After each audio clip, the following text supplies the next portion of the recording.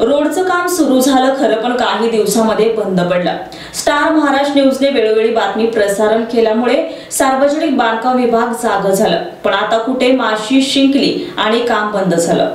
जालना तालुक्यातील मोजे बाफकळ या गावाचे रोडचं काम सुरू होऊन बंद झालं आहे. आतापर्यंत गावकऱ्यांनी शर्यतीचे प्रयत्न केलेत.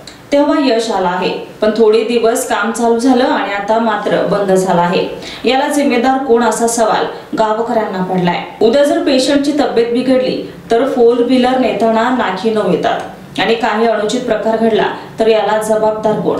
महाराष्ट्र शासन आणि सार्वजनिक बांधकाम विभाग आणि ठेकेदार जिम्मेदार राहतील. या गावातून अर्जंट पेशंट नेण्याची देखील सोय या ठिकाणी नाही.